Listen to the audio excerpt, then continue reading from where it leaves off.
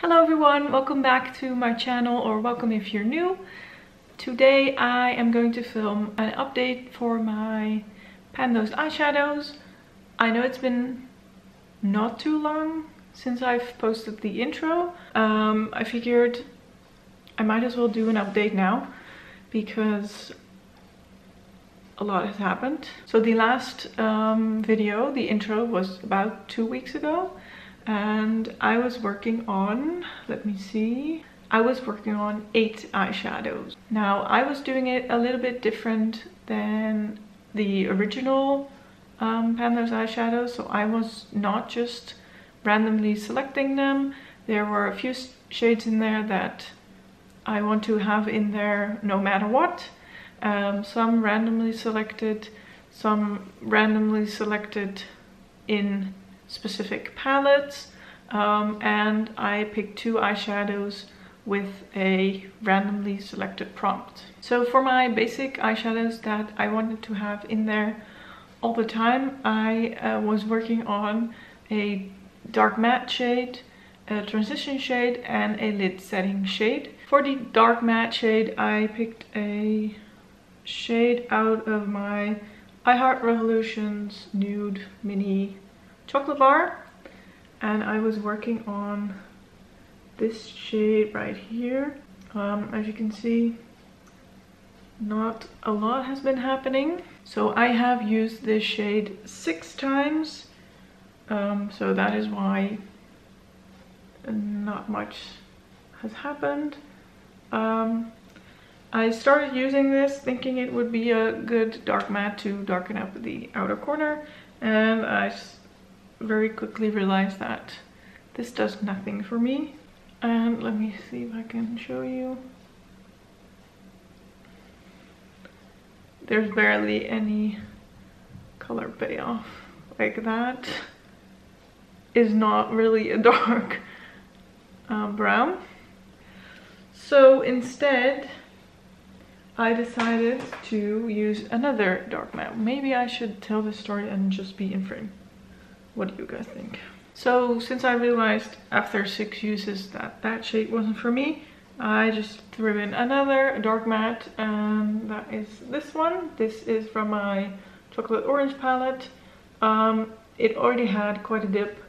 I don't think I took any before photos and I also did not track how many times I used this but um, as you can see I have hit pan in this shade it's a tiny pan because I mostly used it as an outer corner shade and as an eyeliner. So I used a pencil brush.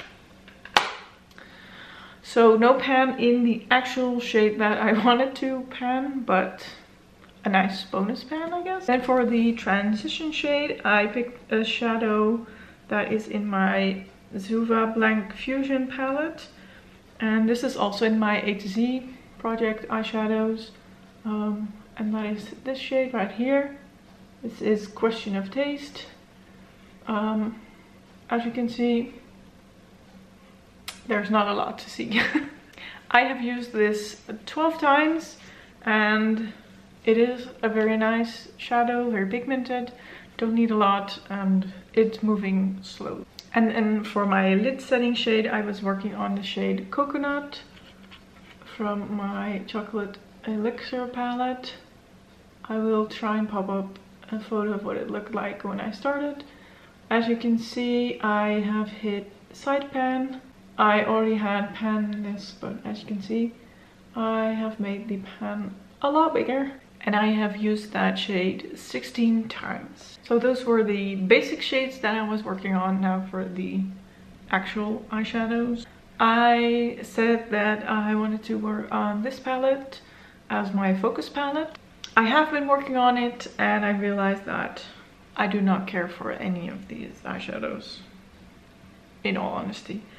Um, I was working on the shade 8 and that is right here. As you can see, I managed to hit pan. This took me four extra uses to hit pan I haven't touched it since, so I'm thinking of picking another focus palette maybe just rotating through it. Um, I said in my intro that I would love to be able to pan a whole palette again, um, like I did years before.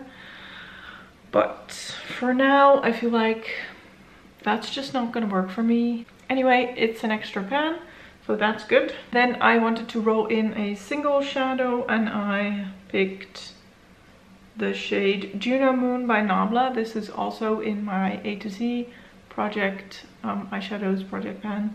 And this is a little bit of a spoiler, but here is a Juno Moon. And as you can see, I did hit pan in this. There we go. There you can see. Tiny bit of pan. And it actually only cost me three more uses to hit pan in this. And I mainly use this um, also as eyeliner or to darken out my outer corner. Then I wanted to work on an eyeshadow that already had pan and I picked one for my chocolate orange palette and I picked this shade at the bottom. This is Clementine. And as you can see, I did grow the pan a little bit. Um, I've been using this with a fluffy brush in my crease, so it's not going as fast, but it, the pan is a little bit bigger.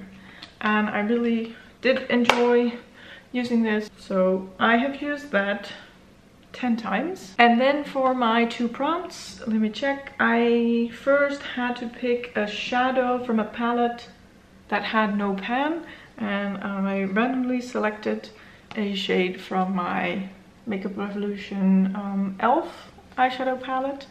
I randomly selected shade number three and this is what that is looking like.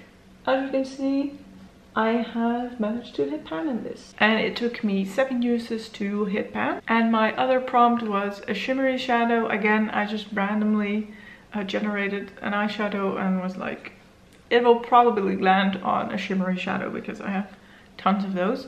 And it landed on the shade Palo Santo from my Miss Bliss um, Colourpop palette. Sorry if I butchered that name. Um, and this is what that shadow looks like and as you can see maybe there is a tiny bit of pan showing there we go. There you can see.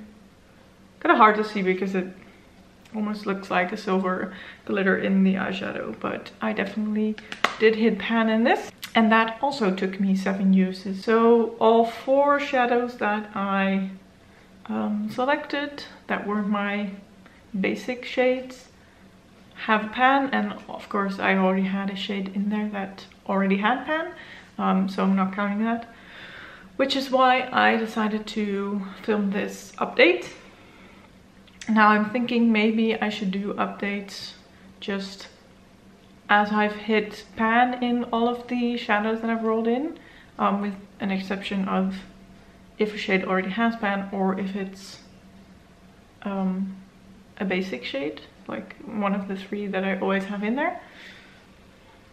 Or if that's not happening, I will do an update at the end of the month or at the beginning of the next month. Okay, so now for the fun part, I guess. We will um, select some random shadows and I have picked my um, basic shades, I cannot randomly select those. And I have also picked one that already has pan. So I will show those first and then we go random select.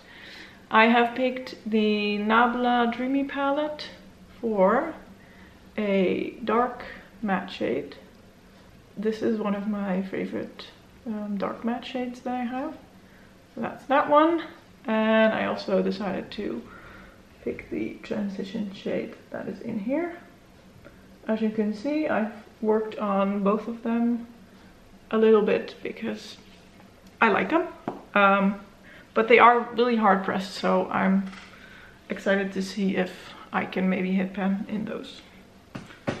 And then for the base shade, I picked the shade Base from my ABH Norvina palette. And I've heard that um, ABH eyeshadows are pretty easy to hit pan on, so let's see if I can do that. And then for the one that already has pan, I picked my I Heart Revolution Mini Rose Gold palette. It's this one.